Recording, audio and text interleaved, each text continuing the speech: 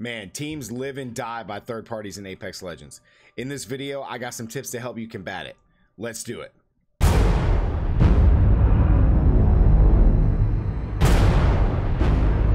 Welcome back to the channel, guys, where I give you all the tips and tricks to help you improve your Apex Legends gameplay.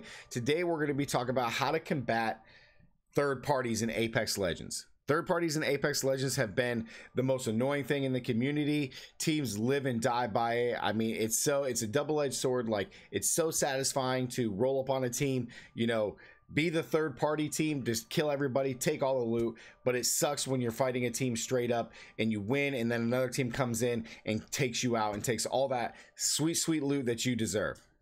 So in this video, what I'm going to do is I have a clip, guys. We're going to break it down. I'm going to give you some tips on how to improve or how to, you know, combat third parties. So let's get right into the clip. All right, guys, in this clip, I'm to show you, we're to kind of break this clip down. I'm to show you all the tips that we used in this clip to come out on top and how to combat a third party. Okay. So essentially, I'm to give you what happens. We're to, we're to go down. We're to fight this team on this ping. We're to break everything down. I'm to break down all my clips that we do.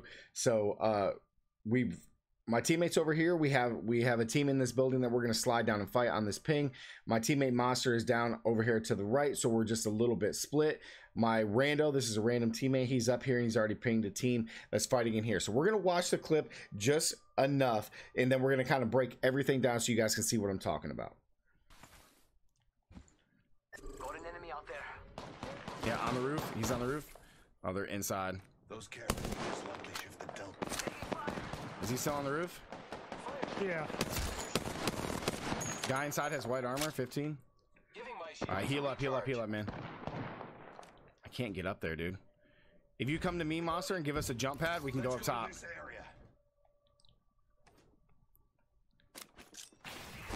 Another squad God, somebody fucking. Have a squad, bro. From where? We gotta go. us. It's good. Go to All death right, if you guys. So at this point, we've been fighting this team, and in my opinion, we've taken we took way too long to fight this team. But either way, so we're fighting this team, all right. And my teammate Monster calls out that we have another team that just shot him. So the first thing that we can do is to reposition. Now, let's break down the first tip. First tip is is communication, the comms, right? So we're fighting. We're fighting, as you guys heard. We're fighting this team. He just got shot. A squad, bro.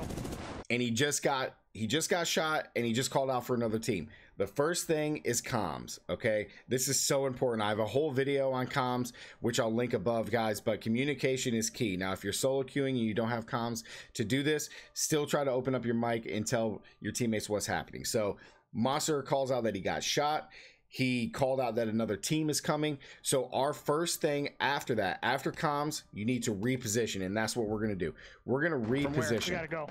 Okay. I ask from where. He doesn't know, but I have to assume that it's over by somewhere where he's at. And then this is tip three. We're going to, or really it should be tip two is game sense. So I know the monster's way over here to my right, my other teammate's off to the left, and he got shot. So I know that he got shot from somewhere in this direction, somewhere over here. It could be somewhere up to the right by the other team. I don't think that it's behind us. Okay, most of the time with game sense, and this is the hardest one because everybody has so much tunnel vision when they come to FPS shooters. Okay, mainly because of Call of Duty, Battlefield. You know, you're playing on these maps where it's not a large map. You're going to one spot and you're fighting, so everybody has tunnel vision. Game sense is the hardest skill to master in battle royales, especially Apex. Okay, so and this is just my guess, but my game sense tells me he got shot from somewhere over there by him. Okay, so he calls out. Somebody. He got shot. We're going to rotate.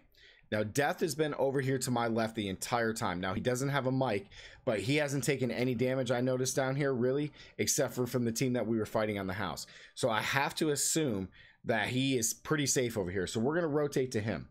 And this is another thing my game sense tells me. We came down from Overlook.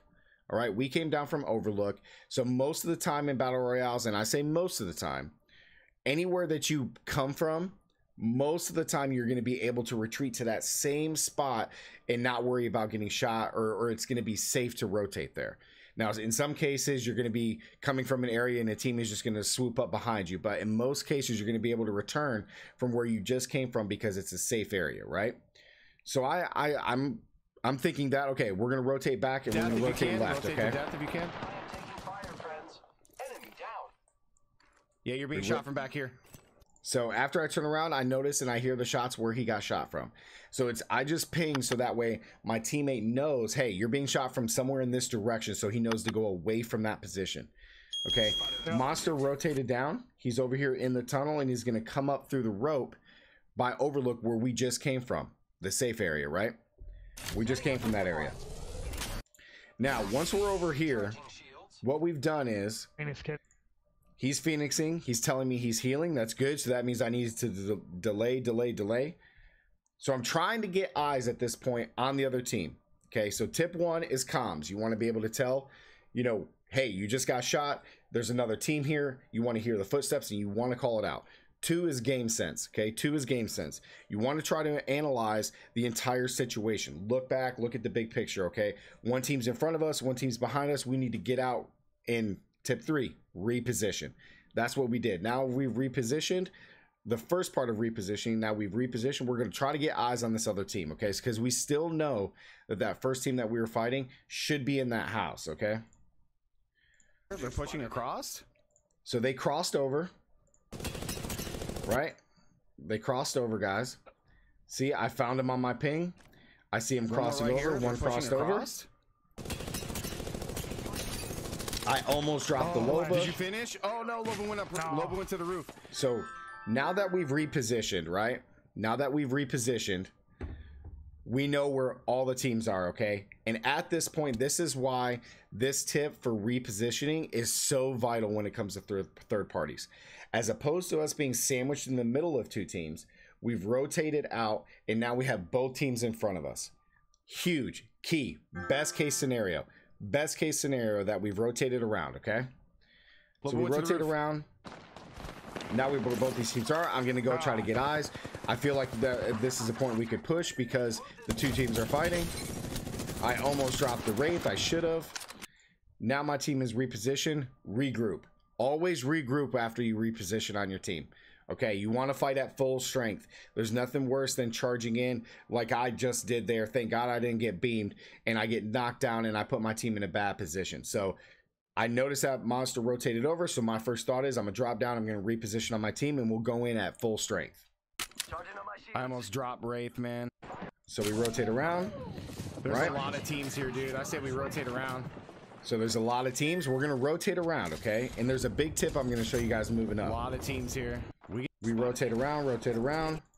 Okay, so we found Wraith. She was fighting. The two teams are fighting right here on the little truck in the house still. Wraith is just trying to get away. So us rotating at full strength, we catch her trying to get away. Okay, and now she's mine. I'm gonna take her Yeah, I see down.